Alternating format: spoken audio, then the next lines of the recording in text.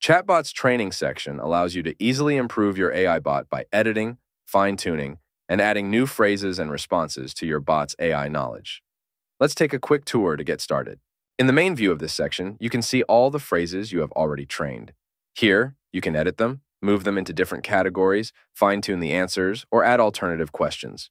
If you're starting with your bot training, this section will be empty, as you haven't added anything yet.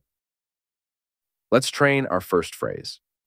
On the left side, you can see a menu with all our categories and three other sections, unmatched, answered by AI, and spam. Let's begin our training by checking for phrases the bot didn't answer. To do so, let's click on the Unmatched section. In this section, you will see all the phrases from your customers that the bot did not answer. In most cases, your bot either needed more knowledge to provide a valid response or the message was qualified as spam. You can see how many times it occurred on the right side of each unmatched phrase. You can also mark it as spam or delete it.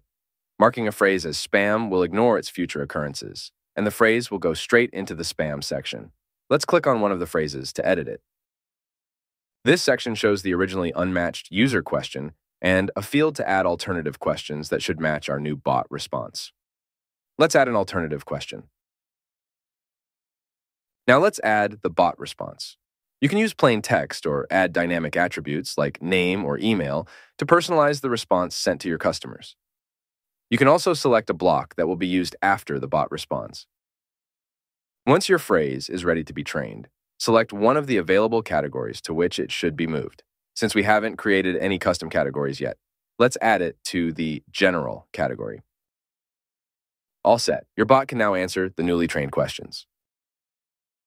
If you train your bot by scanning your website or other sources, your bot will use this knowledge to answer questions from your customers. If the answer is provided from the AI knowledge, you'll find all of them in the Answered by AI section.